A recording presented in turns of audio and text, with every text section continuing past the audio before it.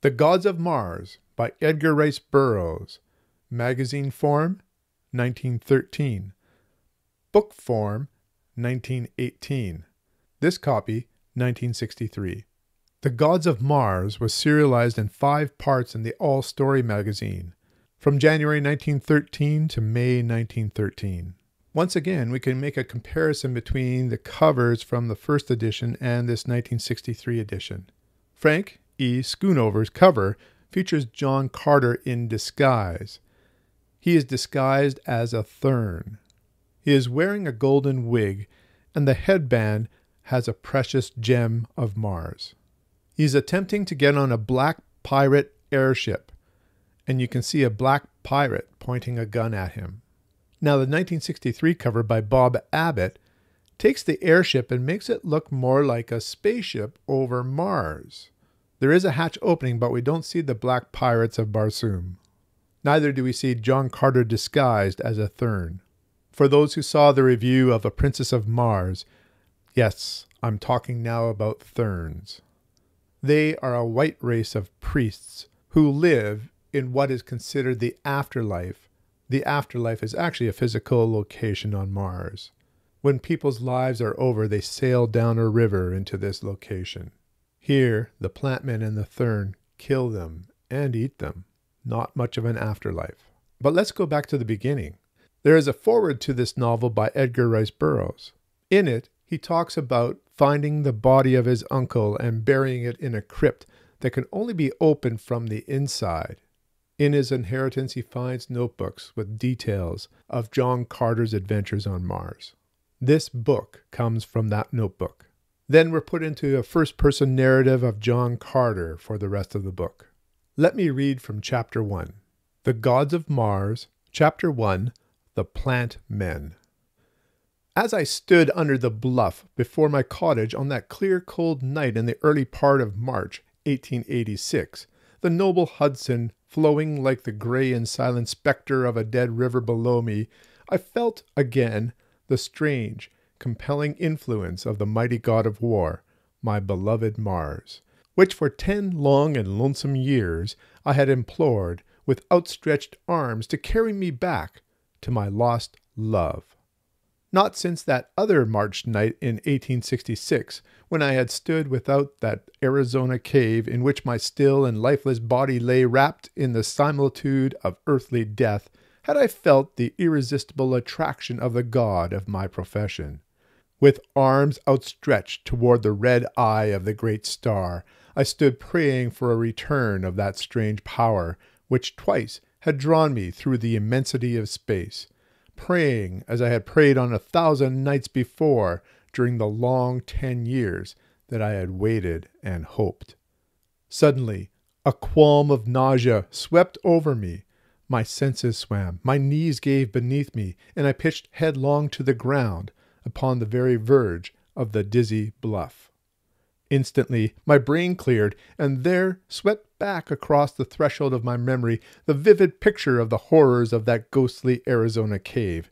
Again, as on that far gone night, my muscles refused to respond to my will, and again, as though even here upon the banks of the placid Hudson, I could hear the awful moans and rustling of the fearsome thing which had lurked and threatened me from the dark recesses of the cave.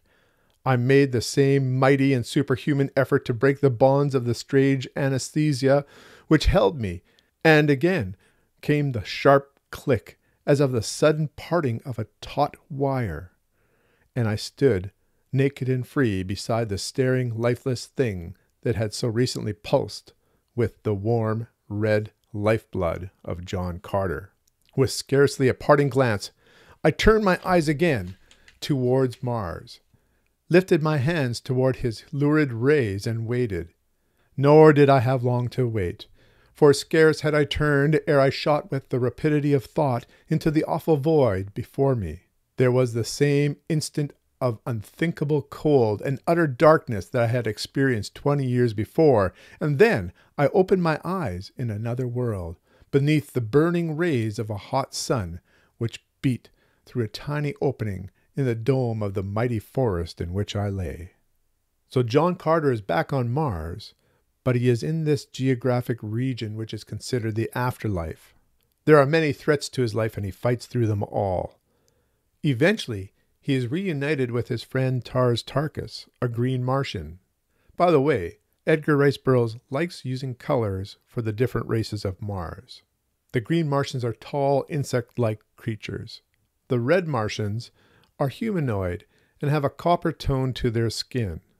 Dejah, the princess of Mars, is one of the red Martians. In this novel, we're introduced to the white Martians, or the Therns. They are an unholy priesthood, literally feeding on those who go to an afterlife. John Carter tries to convince his companions that this is not the afterlife. This is simply a deception that the Therns are propagating on the rest of Mars. From page 45 We have the right to escape if we can, I answered.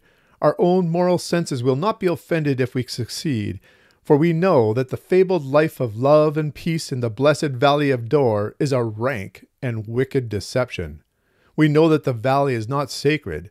We know that the holy Therns are not holy, that they are a race of cruel and heartless mortals, knowing no more of the real life to come than we do. John Carter needs his companions to believe in him so that they can escape this manufactured afterlife. In fact, when John Carter is captured by the Therns, here's what he says about his prison. Constant confinement below ground had wrought odd freaks upon their skins. They more resemble corpses than living beings. Many are deformed, others maimed, while the majority, Thuvia explained, are sightless. Thuvia is now a companion of John Carter and Tars Tarkas. She has saved their lives from the Therns. As they lay sprawled about the floor, sometimes overlapping one another, again in heaps of several bodies, they suggested instantly to me the grotesque illustrations that I had seen in copies of Dante's Inferno. And what more fitting comparison? Was this not indeed a veritable hell, peopled by lost souls, dead and damned beyond all hope? John Carter's idealism, loyalty, and fighting ability gain many friends. He has an entourage of people from all Martian races. This episode starts to play out like an Indiana Jones movie a dangerous, cannibalistic religion, jungles, temples, underground dwellings, airships, and long lost lovers. Can John Carter and his friends escape the afterlife of Mars? And if they do, will they be accepted back into the land of the living? About halfway through the novel, there is another person that John Carter meets in this land. I'm not going to say too much about this character, but the reader can see the reveal a mile away. It takes 20 to 25 pages before Burroughs reveals who this character actually is. In this sequel, Burroughs seems to be trying to top himself. There's more action, battles, revelations, and a high body count. When John Carter comes to Mars, Martians die. Do we get that happy ending? Or is it a cliffhanger? Well, there are eight more novels. If you like the first book, then I think you'll enjoy the second book. I felt that the second book went a bit over the top, reminding me a bit of Indiana Jones and the Temple of Doom. There is a very dark narrative running through this novel. I think when it comes to sequels, there's a diminishing return. Often it's formulaic and the action gets more and more absurd. Now, that can be fun. In this case, I found it quite dark. But for its action and historical importance, I give The Gods of Mars 7 out of 10. Perhaps you're interested in the history of science fiction. I would say that you only need to read the first novel, The Princess of Mars, to get an understanding of what Edgar Rice Burroughs is doing and why it's significant. Until next time, keep reading.